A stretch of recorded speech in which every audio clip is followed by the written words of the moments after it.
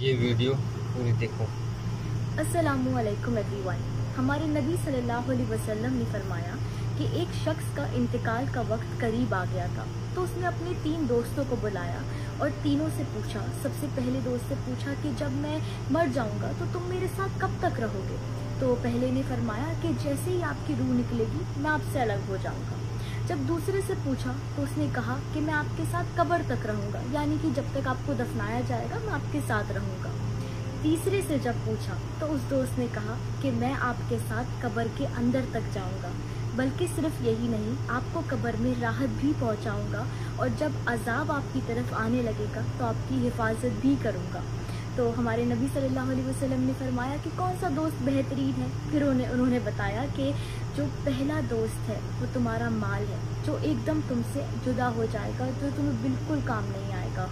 और जो दूसरा दोस्त है, वो तुम्हारे घर वाले हैं, जो सिर्फ़ कब्र तक तुम्हारे साथ जाएँगे, और उसके बाद उनका रास्ता अलग और तुम्हारा अलग।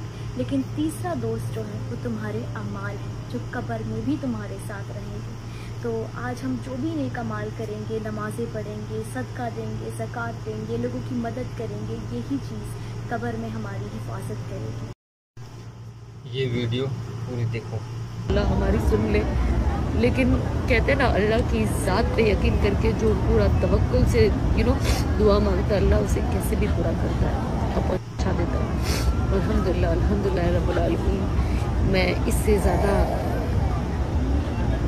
किस तरीके से शुक्रिया अदा करूँ?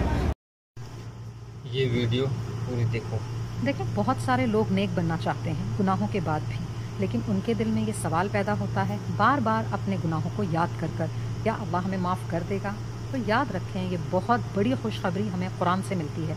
सूर अजुमर आयत 53 अल्लाह सुबहान ताला फरमाता है मेरे बंदों को मेरी तरफ़ से ये बता दो जिन्होंने भी अपनी जानों पर जुल्म किया है। तो अल्लाह की रहमत से वो नाउमीद ना हो। वो हरगिज़ मायूस ना हो। अल्लाह की रहमतों से। अल्लाह बड़ा बख्शने वाला, मेहरबान है। बस उस एक दिन का इंतज़ार ना करते हुए, जो कभी भी नहीं आता, नेक बनने के लिए। आज से ही सारे गुनाहों के कामों को छोड़ दीजिए। हमेशा के लिए छोड़ दीजिए। अल्लाह से जुड़ जाइए।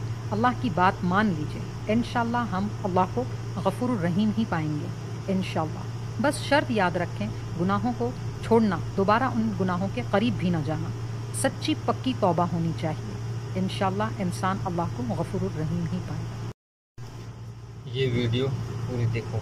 असलकुम अक्सर हमारी माओ बहनों के जहन में ये ख्याल और मसला मौजूद होता है कि वज़ू करते वक्त अगर शर पर दुपट्टा नहीं होगा तो क्या वज़ू होगा या नहीं? देखें ऐसा कोई भी मसला नहीं है। अगर वज़ू करते वक्त आपके शर पे दुपट्टा नहीं होगा तब भी आपका वज़ू हो जाएगा। वैसे भी जब आप शर का मशा करती हैं तब सर से दुपट्टा हट जाता